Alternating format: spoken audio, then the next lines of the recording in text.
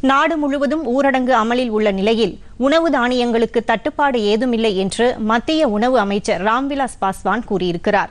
புதுதில்லியில் நேற்று ஏஎன்ஐ நிறுவனத்திற்கு அவர் அளித்துள்ள பேட்டியில் கடந்த ஒன்றாம் தேதி நிலவரப்படி நாடு முழுவதும் ஐநூற்று அறுபத்தி நான்கு மெட்ரிக் டன் உணவு தானியங்கள் இருப்பு உள்ளது என்றார்.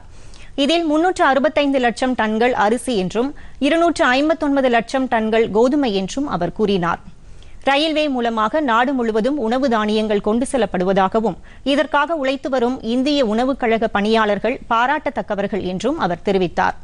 ஊரடங்கு அமலுக்கு வந்த பின்னர் நாடு முழுவதும் பதினோரு லட்சத்து ஐம்பதாயிரம் மெட்ரிக் டன் உணவு தானியங்கள் விநியோகிக்கப்பட்டுள்ளது என்றும் அவர் கூறினார்.